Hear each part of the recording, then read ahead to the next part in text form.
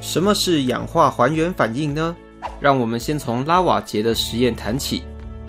拉瓦杰经由实验确认，燃烧是物质与氧化合的过程，因此他将氧化反应定义为物质与氧结合的反应。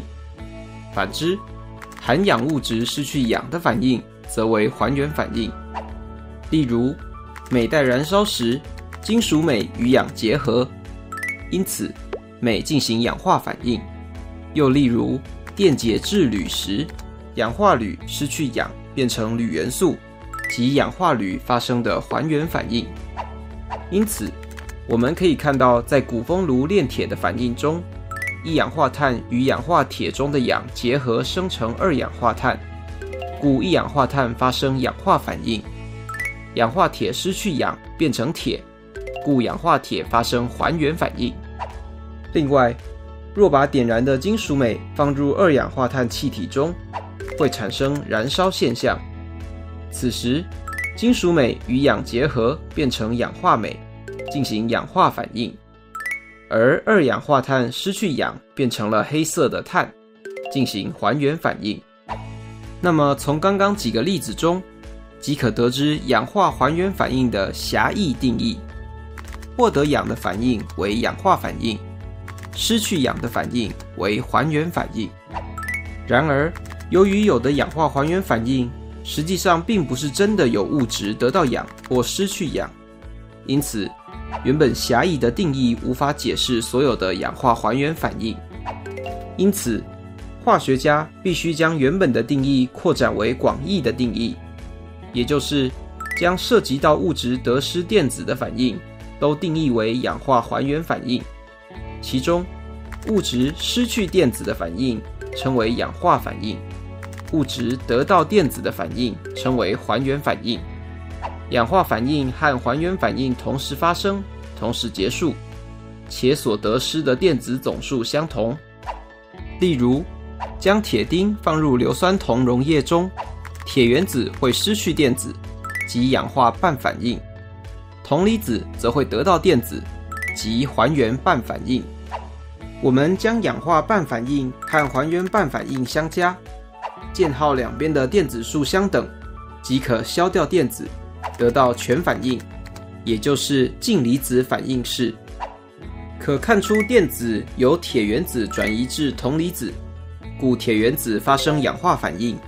而铜离子发生还原反应，所以我们可以观察到有红棕色的金属铜附着在铁钉上，且由于铜离子呈蓝色，故水溶液的颜色随着铜离子逐渐变少，蓝色逐渐变淡。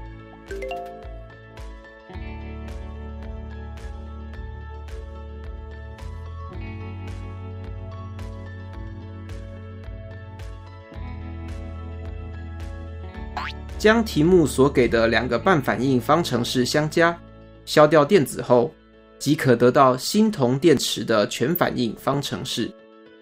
那么，若是氧化半反应和还原半反应的电子数不相等，怎么办呢？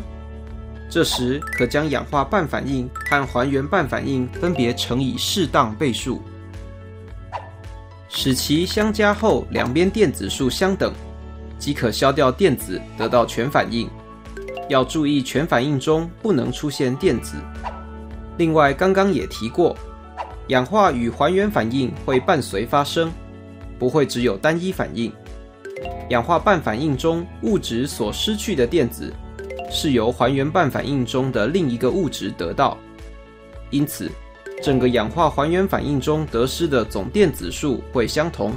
就好比传接球游戏，少了一方都无法进行。如此便可得出结论：牵涉到物质得失电子的化学反应，即为氧化还原反应。这就是氧化还原反应的广义定义。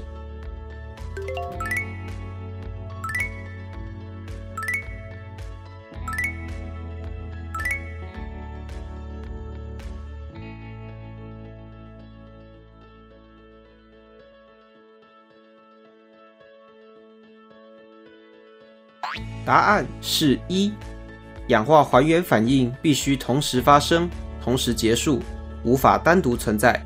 你答对了吗？而有些化学反应可用以下方法快速判断该反应为氧化还原反应，即化学反应的反应物中若有元素参与反应，反应完后消失，或生成物中有元素的生成，则此反应必为氧化还原反应。例如，家用天然气主成分为甲烷，甲烷的燃烧即为剧烈的氧化还原反应。以及双氧水中的过氧化氢分解，也是氧化还原反应。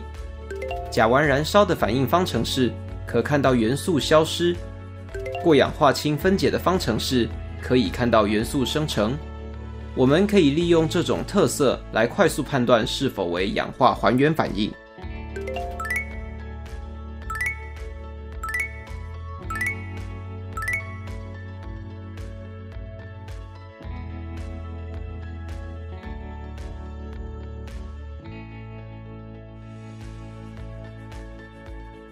答案是 A、C、D。A、D 化学反应式中有元素的消失或生成，可快速判断为氧化还原反应。C 化学反应式中的二价铁离子失去一个电子，形成三价铁离子。同时，四价铯离子得到一个电子，形成三价铯离子。过程中涉及电子得失。意为氧化还原反应，你答对了吗？除了家用天然气、双氧水等，日常生活中常见的氧化还原反应也包括：苹果切开后置于空气中，苹果中的多酚物质与氧气反应产生核变，以及使用漂白水进行衣服漂白或消毒，还有像是呼吸作用。手机锂电池的充电和放电，铁粉型的暖暖包放热，以及铁的生锈、光合作用、电解反应，如水的电解，以氯来消毒自来水等，这些都是常见的氧化还原反应。